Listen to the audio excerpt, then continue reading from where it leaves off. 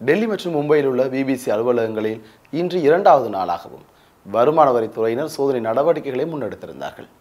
அந்த நிறுவனத்தினுடைய நிதி தரவுகள் தொடர்பான மின்னணு மற்றும் காகித ஆவணங்களை ஆய்வு செய்ததாக அதிகாரிகள் தெரிவித்திருக்கிறார்கள். லண்டனை மையமாக கொண்ட பிபிசி நிறுவனம் குஜராத்தில் கடந்த இரண்டாயிரத்தி இரண்டாம் ஆண்டு நடந்த கலவரம் தொடர்பாக இரண்டு ஆவணப்படங்களை அண்மையிலே வெளியிட்டிருந்தது. குஜராத் கலவரத்தின் போது நரேந்திர மோடி முதலமைச்சராக இருந்தார். இந்த பின்னணியில் ஆவணப்படம் வெளியாகியிருந்தது. இது சர்ச்சை ஏற்படுத்தி இருந்தது. மத்திய அரசு இந்த ஆவணப்படத்திற்கு தடை விதித்திருக்கிறது.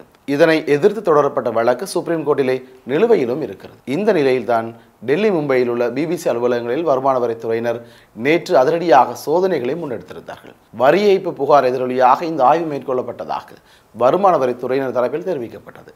காலை பதினோரு மணிக்கு தொடங்கிய சோதனை நடவடிக்கைகள் நள்ளிரவு வரை முன்னெடுக்கப்பட்டிருந்ததாக இந்திய ஊடகங்கள் செய்தி வெளியிட்டிருந்தன.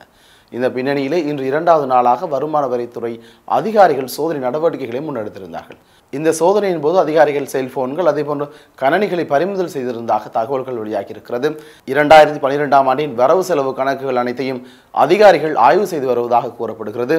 வருமான வரித்துறையினரின் இந்த ஆய்விற்கு முழு ஒத்துழைப்பும் கொடுத்து வருவதாக பிபிசி தரப்பில் தெரிவிக்கப்பட்டிருக்கிறது.